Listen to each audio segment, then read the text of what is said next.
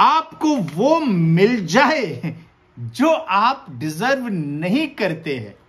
That is called grace of God